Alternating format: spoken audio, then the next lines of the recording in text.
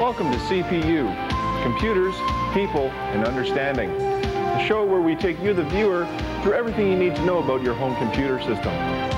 On today's show, we're going to be talking about computer protection. And when we're meeting computer protection, we're not meeting Trojan.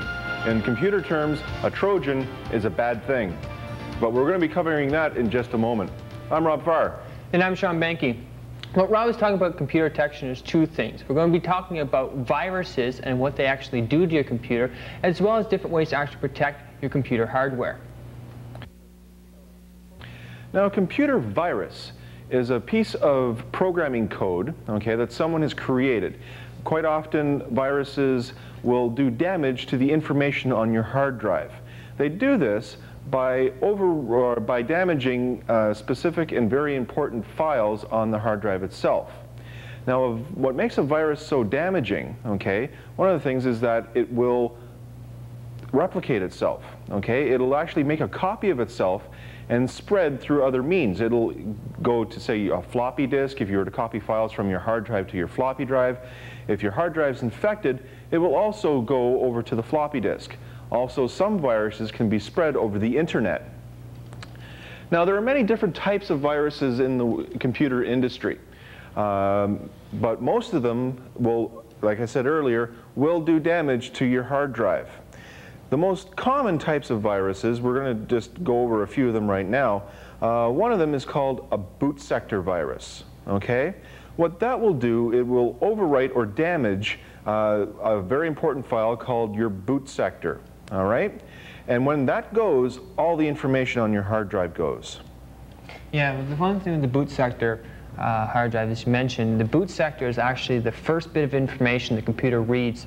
It has all the information about your hard drive, how big it is. When a virus infects this, it essentially erases that information. So next time that you turn your computer on, it does the computer can't read and determine what information is on that hard drive.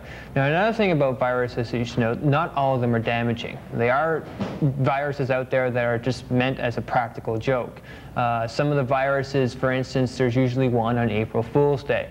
And the purpose behind this is just one person uh, has created this this program, and when your computer actually gets infected with this virus or this program, uh, if the program is ran at a certain time on April Fool's Day, uh, a screen would come up saying April Fool's Day or whatever. It all depends on the person.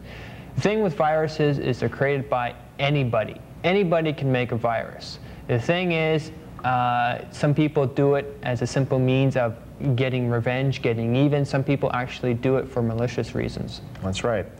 Uh, one particular case, and ex example is, is, that a former employee of a company in Europe made a virus that would attack uh, specific files on his former employee employer's computer. Now, he did a very good job of making the virus. It proliferated so much that it's one of the most common viruses out there. Fortunately, though, unless you have the specific file it was sent out to find, it won't do anything to your drive.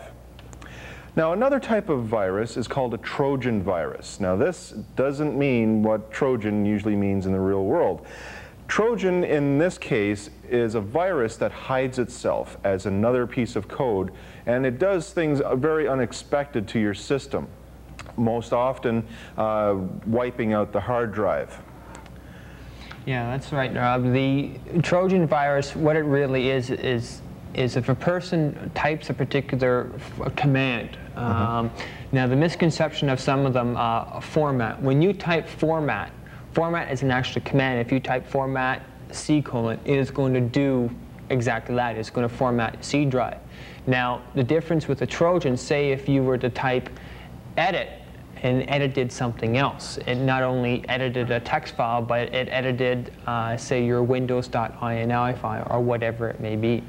Uh, that's a type of that's a type of Trojan file. It's it's a program that does something a little more unusual than what the user expects. Right. Now another type of virus found out there is a polymorphic virus.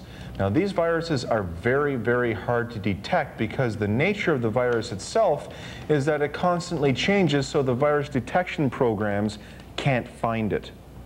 Now these viruses, again, they spread just like any other virus. They'll jump uh, from a hard drive to a floppy, floppy to a hard drive, and also over the internet via uh, attachments.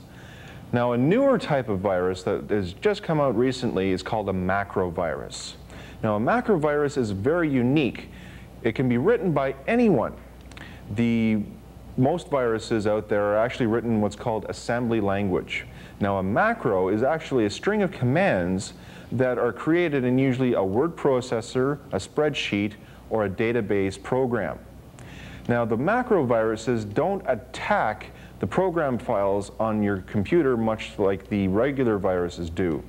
These viruses attack the documents that you create. Now a macro virus, say you're running a word processor and you run uh, inadvertently mistakenly run a macro virus against, say, a 500-page report that you've been working on for six months. It's a good possibility that that file that you were so diligently working on is now damaged and possibly irretrievable. Another thing with macroviruses as well is it's not necessarily reflected upon one particular operating system. It is a, a virus that attacks uh, whether you're working on a Macintosh, whether you're working on uh, Windows 95, Windows 3.1, DOS, it doesn't matter. Whatever uh, operating system, your computer that you're working on, this macrovirus will attach itself to uh, word processors, spreadsheets, and database files. Yes. And also the macroviruses are more likely to be spread over the internet via email because email is just generated by text documents itself. If you were to run a macro against your email, uh, say to do word uh, uh, spell checking or something like that, uh, it's quite possible that your email would be infected and then you'd be spreading that virus to whomever you're sending your email to.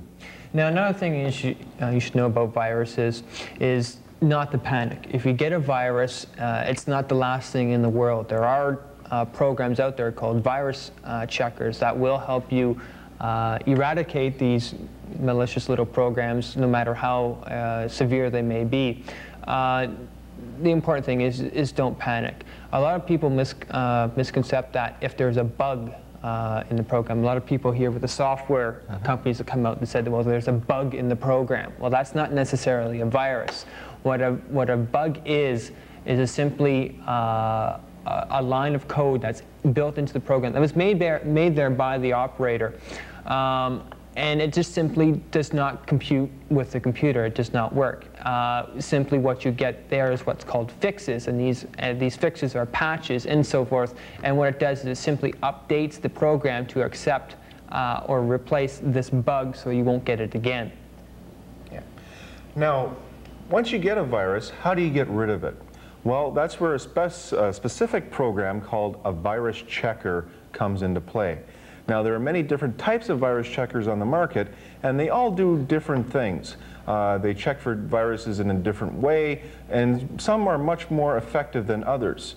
One of the rules of thumb about a virus checker is if you happen to have one, say you buy one at a retail store or you download one from the internet, make sure that you update it at least once every month. There are so many viruses being created now that you need this new information every month to combat the latest types of viruses out there. Uh, you have one of the uh, virus checkers that come with Windows 95 on here right now, right? Yeah, actually I do, Rob. Uh, like I said, there's many different types of virus checkers that are out there. The one that I particularly happen to have, and there's no general uh, reason for having this one. It's just the one that was available. I use the McAfee virus scan. Now the other ones that are out there, uh, there's uh, Norton makes an antivirus. That's right. Um, Thunderbyte Programming, yeah. Uh, they make one. Uh, there's also one I believe called Dr. Solomon, as well as another one called Norman Antivirus. Yeah, and what these programs simply do is exactly they check uh, your hard drive, your floppies, or whatever it may have on your computer. Now this one, as you notice, as I opened up the virus scan, is it opened up and it checked my memory first. Right. Now, important thing with viruses is they're not is they like to jump around. That's how, that's how they replicate themselves. Uh, memory, as you know, is a very temporary storage. Mm -hmm. uh, your RAM memory. Your RAM memory, yes. Uh, the storage memory on your, on your hard drive is more permanent. But when you're using your computer, what the computer does is it copies information temporarily to the RAM and back and forth, and that's how it uh, duplicates itself. That's right. It'll first, when you first boot your computer up, if the virus was on the hard drive, it'll copy itself to the RAM, and then before you shut the computer off again at night, it'll copy itself back onto the hard drive. Yeah, that's why no, most of the virus protectors do scan their memory first just to make sure. Now, with this particular virus uh, checker, they're all different. They all have their own unique features. Uh, the average price for these range from anywhere to 50 to $100, again, depending on, uh, right. depending on the maker. Now, of course, with these as well, you can download evaluation copies off the internet. Yep. If you like what the program does, you can actually uh, register it and get the full-blown version of it. Yeah. Now, what we're going to here, do here is we're just going to scan our C drive or our main hard drive for any viruses. Like we said, as soon as you start a virus program up, quite often it'll scan the memory. Yeah. Or your RAM memory. Yeah, I'm just going to simply right now, right now it's saying scan in. I have it set up to, uh, to my C drive. So I'm going to simply do a scan. And what it does is I have it uh, scanning program files only. Now, you can set it up so it scans every single file on your hard drive, depending on uh, what type of virus you think you have, or just for the sake of uh, Making sure making, making sure. right. If you have it, uh, if you have it set to all files, it will take a while, depending on the size of hard drive, how many files you have on it. Mm-hmm. Um, this one, it didn't take very long. It said it found no infected items. Uh, no infected items were found, and it scanned 196 program files. Right. Now, each of these programs you can customize for different extensions. Now, the main ones, as you mentioned, the, the more malicious uh, viruses attack your .exe, your executable files, as well as your .com files. Now, these uh, are always running. These are always operating uh, when you load a program, such as your uh, your word processor, your spreadsheet, your database, etc. No matter what program you use, they use some sort of executable file, and that's why it's usually advisable to check these files first, or have your. Most virus programs have these as a default, but it's always good to make sure. Now, one of the things that you have to look for with a virus scanning program is to make sure that you get one that is very effective in scanning files. What you want to look for is some kind of a success rate. Uh, the better program files will detect approximately 89 to 90% of the viruses out there. Now, that's all the time we have to spend on viruses. Now, after we come back from this break, we're going to look at the more physical side of computer protection. We're going to look at UPSs and power protection.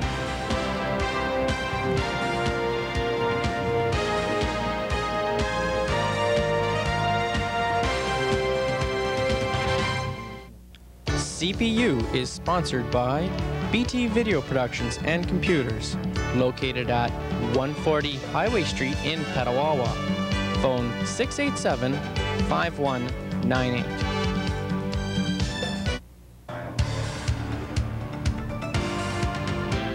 Welcome back. Now, in the first half of the show, we showed you how to protect your system against viruses. Now, in the second half of the show, we're going to be showing you how to protect your hardware against voltage spikes. Now, a voltage spike can be caused by any number of uh, means. It could be happening most commonly from a lightning strike or from a power surge or a brownout. Now, the most common way to protect yourself is to buy what's called a surge suppressor or a surge suppressed power bar. Now, we just have a, happen to have a couple here, as well as one that won't quite do it. Now, this is a typical power bar that you can buy from any local hardware store or any computer store. These power bars range anywhere from $5 upwards of about 12 to $15, depending, of course, on how many sockets you have. Now, this happens to have a breaker on it, okay? Now, this breaker, unfortunately, won't do anything against a voltage spike, okay? This is more for, say, a minor power brownout or a power, minor, minor power surge. Um, these, power, these type of power bars aren't very good in protecting your computer systems. And see, that's the whole that's the whole problem with a lot of these a lot of these power bars is they are in sense they are surge protectors, but as you mentioned, they're not going to protect your system against say a direct lightning strike or anything else uh, more severe. Um, if you want to get into something that's a little more uh, has a little more backing behind it, you get in what's uh, into more professional surge protectors that actually can sustain a more direct current. That's right. Much like this type that we have here. Now this one, of course, it is physically larger than our other power bar that we have. Okay. Plus, on the box it says it's a surge protector. Now also with these types that will guarantee against say a direct lightning strike, you'll have a warranty that comes with the power bar that will range from anywhere from $2,000 upwards of $5,000 or more. Or even in this case, $25,000. Now what this means is that should something happen to your computer system because the power bar failed to do its job, the company that made the power bar will replace up to whatever the guaranteed amount of money is in replacing your computer system. Just one more level of protection that you can have. Now the more higher end power bars or surge suppressors will have uh, usually around six outlets, okay? And they'll also have uh, spots to plug in your telephone line. Now, power spikes that damage computers not just don't just come over your power line or your AC line, they'll also come through your phone line. Quite often easier through your phone line than through the AC power. Now power protectors or surge protectors aren't only just for your computer, they're all for electronic devices. As That's you right. mentioned, a lot of the power spikes can come through your telephone as well as your AC outlet. Other such ones are through your cable antenna, mm -hmm. which you can also get other adapters that do support for your television set, your VCRs, and other such devices. That's right. Now, one thing is, uh, quite often, uh, say if we're doing networking or we're hooking multiple computers up together, you can also get a higher end power bar, okay, or surge suppressor that will protect the actual cabling uh, that connects the computers together through the network. Uh, some uh, companies that had a lot of cable, say, lying around, networking cable lying around, when a lightning strike hits nearby, it creates a massive field called an electromagnetic field. Now, if this field comes across anything metal, it will conduct current, okay? And if it's a massive spike, uh, the cable will basically reflect whatever is applied to it. Now, you need, if you have a lot of cabling laying around and hooked up to your computers, you definitely need some kind of a protection. Now the difference is between what we showed you earlier, the uh, 5 to uh, the 10, 12 dollar uh, power bar compared to what these ones are. These ones actually range uh, depending on, you can get these particular ones that actually have the telephone connector, usually between 60 to $100.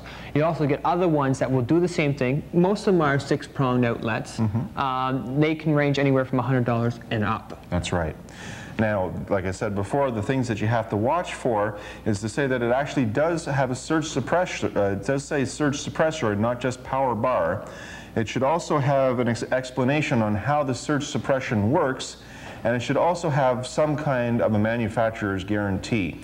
As for instance, on the back of this particular surge protector, it has a listing on the back uh, exactly the regulations of what the maximum sustained uh, voltage spike it can uh, it can take. It also has a bunch uh, details about the inside of, of the surge protector, uh, the warranty and such. Different manufacturers have different listings for these, but the thing is, is if you're going to spend upwards to twenty-five to three thousand dollars on a computer system, what's an extra sixty-two hundred dollars on protecting that from uh, lightning strikes or any such uh, power spikes through the AC lines, uh, telephone lines, or cable lines. That's right. Now, another level of protection that you can get for your computer is called an uninterruptible power supply, or a UPS. Oh. Now, a UPS, this uh, like what we have right here, okay, this is a small device that plugs into your computer system. What this essentially is, is a series of batteries okay? Uh, much like a battery that you would find in your car. Now, the battery in your car works on liquid acid uh, and metal to conduct the electricity. The newer power, so the, the UPSs work on a gel type. So that way, if the UPS should fall over or be tipped, uh, you're not going to be leaking uh, corrosive acid all over the place. Now, a UPS works by filtering out large voltage spikes through the batteries in the UPS itself. It also serves a double protection. Say if you're all of a sudden there's a big lightning storm and the power goes out. Well, if you don't have a UPS, your computer goes off with everything else in the house. Okay, but if you have a UPS, it will provide power to the computer long enough for you to save your information and turn your computer off safely. And I'm pretty sure we've all been in that situation where we've actually been working on some sort of uh, documentation or project, whatever it is on the computer, all of a sudden the power goes off. That's right. I mean, I know I've been in there lots of times and it's frustrating. Mm-hmm. What the UPS does, it gives you that extra bit of protection Mm-hmm. or safety net uh, if, the, if it does go off that uh, you can, it gives you enough time to simply save your information, power down the machine, and wait until the power comes back on. Now, this one, as you mentioned, is a small model. You do get right. bigger models depending on what exactly you're backing up. Mm-hmm. If you happen to be backing up your home computer model, uh, this particular one uh, will range anywhere between 100 to 200 dollars. Mm-hmm. Uh, the bigger, the more, the longer that you want the computer to actually stay on when the power goes off, the more you- you'll pay. That's right. Uh, for instance, uh, one that's probably uh, twice this size uh, and has a capacity of staying on for maybe 15 to 20 minutes, you're looking anywhere up to, you know, uh, three to four hundred dollars. That's right. Now, another consideration to make when you're buying a UPS is to find out what type of power supply you have in your computer and how many devices you're going to plug into it. On the back of this particular UPS, we have spots to plug in two devices, okay? Now, quite often that would be your uh, computer itself and the monitor because if the computer stays on, that's great, but if you can't see what's happening, well, that's not so good. Minimum uh, uh, sockets that you should be looking for on the back of a UPS should be two. The more higher priced ones will have anywhere from four to six or more, of course, depending on what you're plugging into. Now, when you're buying one, you have to consider, of course, what you are plugging into it. Your monitor will draw quite a bit of power, and say if you have a 300 watt power supply in your computer, you'll need a, a UPS that's at least 400 to 900 watts. Yeah, and the best way to figure out which UPS you want, you may you can contact your local computer store and That's the right. technician or serviceman there or service person uh, there should be able to tell you exactly what you, what the requirements are for the UPS. Mm-hmm. Uh, now these are specialty items. If you're that serious about protecting your system from uh, power failures or from uh, spikes and surges, uh, these devices uh, should be seriously considered. Uh, again, depending on uh, your configuration. That's right. And like I said, they range anywhere, like the smaller ones range anywhere from uh, $100 to the larger ones to around $400. All right, well, we're just going to do a quick recap here of what we've covered tonight. We've covered computer viruses and how to protect yourselves. And right now, we'd like to show you where on the internet you can go to collect or to get some of the more common antivirus programs. Virus checkers that are available on the web are available at these sites. uh, www.mcafee.com That's M-C-A-F-E-E E dot C-O-M. and also www.norman.com. Mm-hmm. And the final one is www.drsolomon.com. That's right. That's all one word. D-R-S-O-L-O-M-O-N dot com. Now, with these, when you're on the internet, now this is the one thing uh, people get worried about is actually getting a virus from the internet. Now, if you don't happen to have a virus checker before you go on, the safest thing you can you can probably protect yourself is go to commercial uh, websites, such as the ones that we listed to you. You know, those ones are almost guaranteed that you're not going to get you know any A sort of yeah any set type of virus. Um, virus protection is almost a given uh, in nowadays. Nowadays, yes. As It's you mentioned, absolutely mandatory, actually. yeah, as you mentioned, there there's hundreds of them coming out each and every day. Now, one person may wonder, like, you know, how do they know where all these viruses ex- exist? Well, those companies that do design these virus protection programs are constantly updating their, their software. Now, it's not necessarily that you go out and buy a particular piece of um, uh, virus protection from your local computer store and then as soon as you buy it, it's going to be obsolete. That's where they have updates on the internet and updates that they can actually mail you if you don't have an internet account. That's right.